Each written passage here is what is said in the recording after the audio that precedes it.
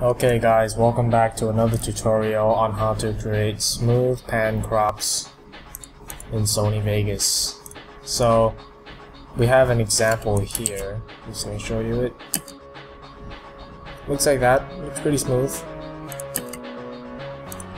So this is how you do it. Okay, let's just set everything.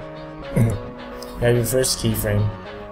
You want to move over just a little bit, not too much or else it's not going to look that smooth.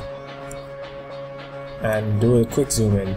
This is like the thing I do for every video if I have anything like this. And on the last keyframe, set it all the way to the end unless you're going to add other movements. Just slightly zoom in from where the second one is to get that small zoom. Okay, that does look a little slow. Maybe you want to move it over here. Yeah, see, that looks better.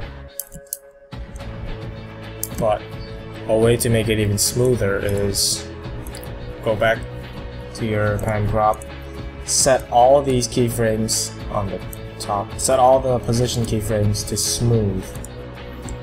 And before you even do all that, you want to set your first keyframe into the keyframe interpolation, the smoothness to at least 10%.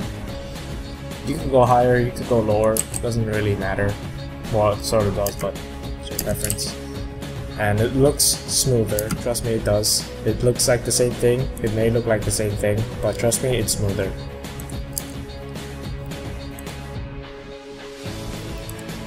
It really depends on the situation you're going to use it in because I do this for like every pan crop to make it look smoother rather than having linear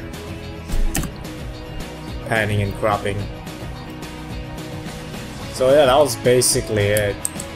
It's pretty simple. What, how long is this tutorial? It's not even like 3 minutes, is it? Well, thanks for watching.